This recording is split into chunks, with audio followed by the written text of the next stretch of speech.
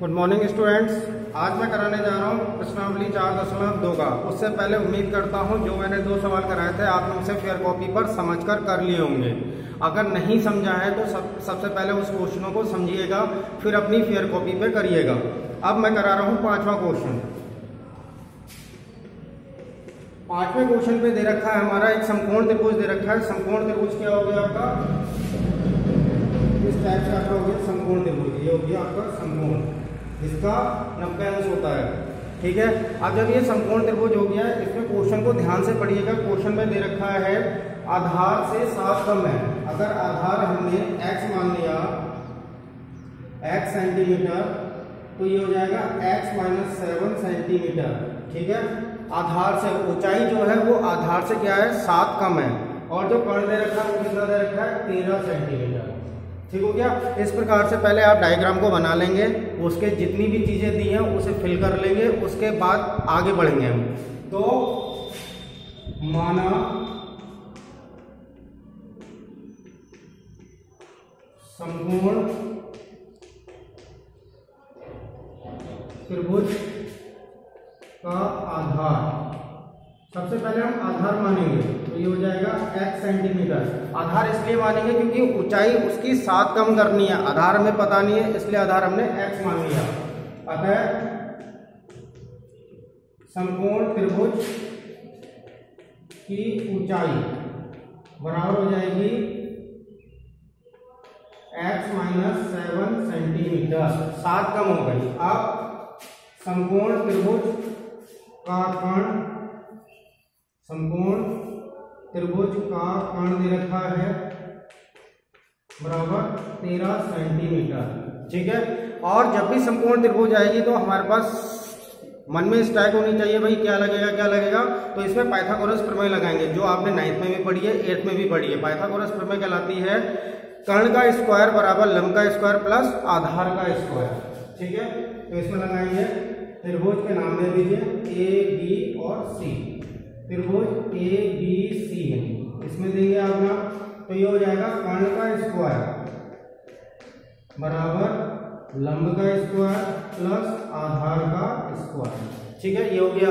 ठीक है, अगर कुछ इंग्लिश मीडियम वाले होंगे तो उसमें हो जाएगा ये हाइपोटेनियस का स्क्वायर इक्वल टू परपेंडिकुलर का स्क्वायर प्लस बेस स्क्वायर मतलब आपका गया H square equal to P square plus H square ठीक हो गया? अब कर्ण हमारा कितना दे रखा है? तेरह दे रखा है। तेरह का स्क्वायर बराबर लंब हमारा दे रखा है एक्स माइनस सेवन का स्क्वायर और हर कितना दे रखा है? एक्स स्क्वायर ठीक है? अब तेरह का स्क्वायर तेरह का स्क्वायर कितना होगा? One sixty nine one sixty nine ठीक हो गया? इस प्रकार से हमने कर लिया। बराबर।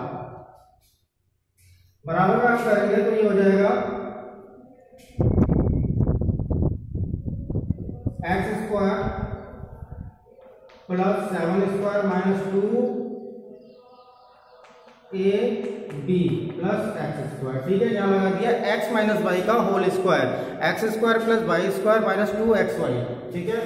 One sixty nine equal to x square x square जुड़ा तो ये हो गया two x square plus forty nine minus का ये हो गया फोर्टीन एक्स ठीक है? ये हो गया। अब आपको क्या करना है?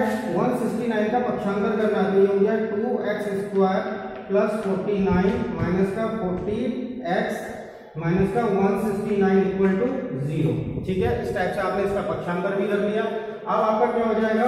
टू एक्स स्क्वायर अब वन सिक्सटी नाइन पहले माइनस का फोर्टीन लिख लेंगे हम। माइनस का फोर्टीन एक्स यहाँ लिख लिया। अब वन सिक्सटी नाइन में से वन वन सिक्सटी नाइन में से फोर्टी नाइन जाएगा तो वन ट्वेंटी बचेगा। तो ये बच गया आपका माइनस का one twenty equal to zero ठीक है? इस प्रकार से हमने कर लिया। अब आप क्या करेंगे? यहाँ से दो कॉमन लेंगे। तो ये हो जाएगा एक्स स्क्वायर माइनस का सेवन एक्स माइनस का सिक्सटी इक्वल टू ज़ीरो इस प्रकार से। और जो आपकी द्विघात समीकरण आएगी, जो आपकी द्विघात समीकरण आएगी, वो आएगी x square minus seven x minus का सिक्सटी इक्वल टू ज़ीरो ठीक है? क्योंकि दो क्या हो गया? ज़ीरो में चला गया। अब मैं इधर करता हूँ।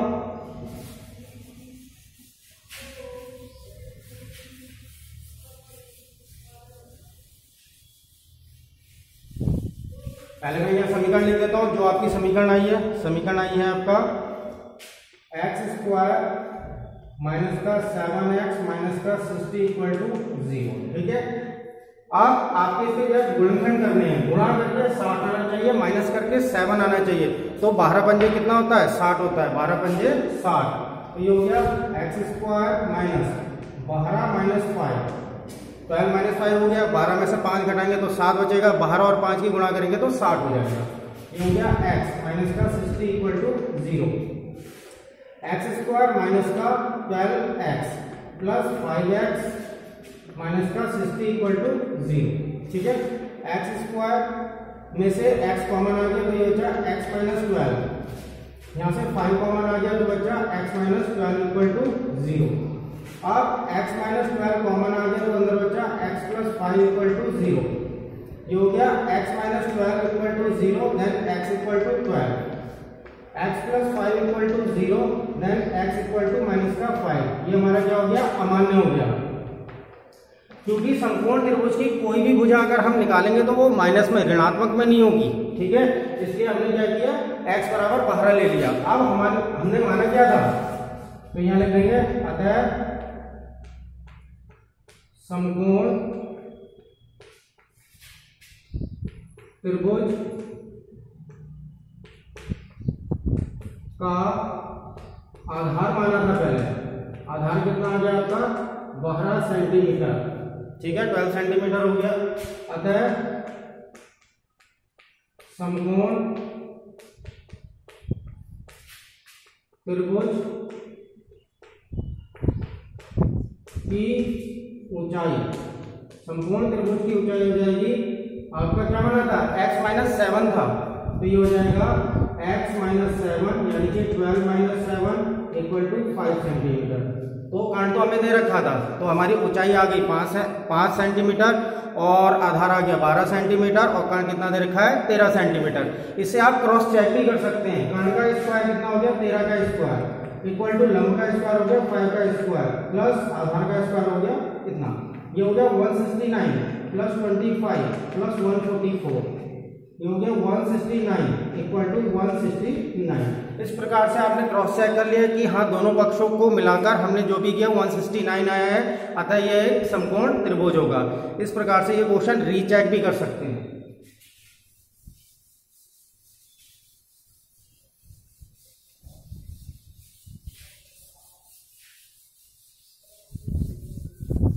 अगला क्वेश्चन कराने जा रहा हूँ। अगले क्वेश्चन में दे रखा है, एक कुटीर उद्योग एक दिन में कुछ बर्तनों का निर्माण करता है। ये वही वाला क्वेश्चन है जो उदाहरण में दिया हुआ है। एक विशेष दिन यह देखा गया है कि प्रत्येक नग की निर्माण लागत रुपए में उस दिन के निर्माण किए गए बर्तनों की संख्या के दुगने से तीन अधिक है। यदि उस दिन की कुल निर्माण लागत नब्बे थी तो निर्मित बर्तनों की संख्या और प्रत्येक नग की लागत बतानी है। तो जो चीज़ हमें पूछा है, वो सबसे पहले हम लिख लेंगे। सिक्स माना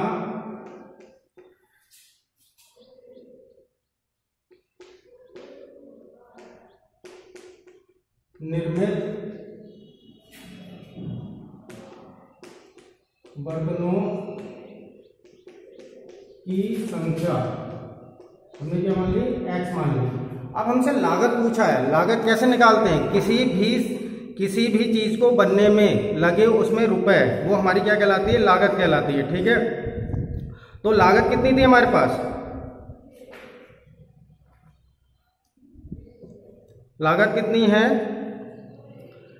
कुल, उस दिन की कुल निर्माण लागत नब्बे थी। कुल निर्माण लागत कितनी थी? नब्बे थी। और पहले वाले क्वेश्चन में आपको दिया हुआ था कि एक कुटर उद्योग एक दिन में कुछ खिलौने का निर्माण करता है, प्रत्येक खिलौने का मूल पचपन रुपए है। अब उसमें मूल्य दे रखा था पचपन रुपए। ठीक है? तो उसमें हमने क्या किया था? पचपन में से एक्स घटा दिया था।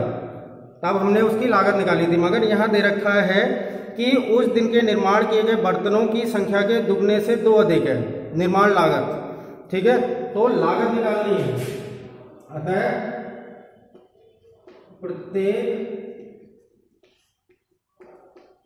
नग की लागत। अब लागत हमें क्या दे रखी है? जो उस दिन निर्माण किए गए बर्तन हैं, निर्माण किए गए बर्तनों की संख्या के दुगने, इसके दुगने से तीन अधिक। ये लागत हो गई हमारी। जो उस दिन निर्माण किए गए बर्तन हैं, हमने एक्स मान लिए। जो लागत आएगी वो है कि उस दिन के निर्माण किए गए बर्तनों के दुगने से कितना अधिक है? तीन अधिक है। तो लागत हो जाएगी हमारे पास x two x plus three बराबर कितना दे रखा है हमें? नब्बे।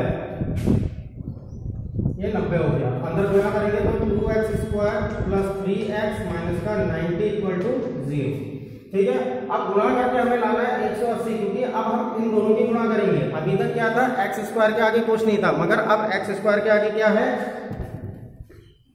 एक्स स्क्वायर के आगे टू है। जब टू है तो भाई टू से गुणा करनी पड़ेगी तो एक सौ नब्बे हो गया, माइनस करके क्या लाना है? तीन लाना है। तो एक सौ अस्सी के गुणनखंड करोगे। नब्बे, पैतालीस, तीन पंद्रह, तीन पाँच पाँच एकम पाँच। अब इनमें से ऐसे सेट करोगे कि भाई घटा करके हमारा तीन आ जाए। अब ध्यान से करते हैं हम लोग। चार दिया बारह और पंद्रह। पंद्रह और चार दिया बारह। पंद्रह में से बाहर आ जाएगा, कितना बचेगा? तीन बचेगा। तो ये होगा गुणनखंड आपके ये हम लिख लेंगे टू एक्स स्क्वायर प्लस पंद्रह माइनस बारह एक्स माइनस का नब्बे, बराबर ज़ीरो अब गुणा करके देख लो, बारह पंजे साठ का ज़ीरो छह हासिल, बारह एकम बारह छह, एक सौ अस्सी हो गया. तो ये हो गया two x square plus fifteen x minus का ट्वेल्व एक्स माइनस का नाइनटी इक्वल टू ज़ीरो ठीक है? इस प्रकार से हमने इसके गुणनखंड करके इन्हें चार भागों में बांट दिया. अब शुरू में से क्या कॉमन आ जाएगा? X कॉमन आ जाएगा।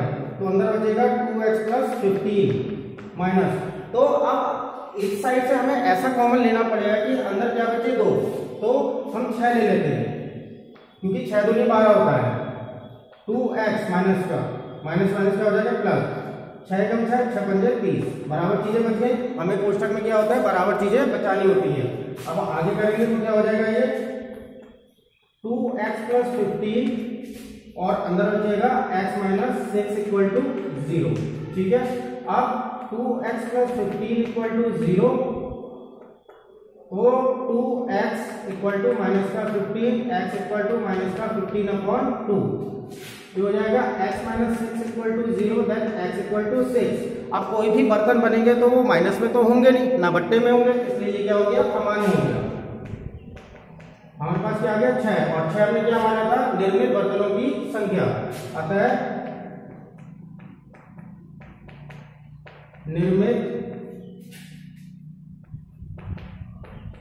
बर्तनों की संख्या बराबर हो जाएगी छह। एक दिन में हमारा कितने बन गए? छह। अब इनकी लागत निकालनी है। प्रत्येक नग की लागत बराबर पास क्या थी? टू एक्स प्लस थ्री था। तो ये हो जाएगा two into six two into six plus three two into six plus three तो ये हो गया twelve plus three equal to fifteen तो फिफ्टीन रुपए यानी कि एक दिन में कितने हो रहे हैं? छह बन रहे हैं और उसकी लागत कितनी आ रही है? पंद्रह रुपए आ रही है। तो इस प्रकार से अगर आप क्वेश्चन को समझ के करेंगे, तब तो अच्छा है। अन्यथा क्या हो जाएगा? बेकार हो जाएगा। सब कोई बेकार हो जाएगा क्योंकि आपको सवाल को समझना है कि हाँ भाई, अगर हम लागत निकाल रहे हैं, क्योंकि नब्बे रुपए लागत दे रखी थी, लागत कैसे निकालेंगे कि जो बर्तन बन रहे हैं, उसमें कितना पैसा खर्च हो रहा है, उन दोनों को मल्टीप्लाई करेंगे तो उसकी क्या आ जाएगी? एक बर्तन की लागत आ जाएगी। तो इस प्रकार से इस क्वेश्चन को समझिएगा, आराम से करिएगा, गुणनखंड देख के करिएगा और इन दोनों क्वेश्चनों को फेयर कॉपी पे उतार लीजिएगा। ठीक है? अगली वीडियो में मैं चार दशमलव तीन स्टार्ट करूँगा। धन्यवाद।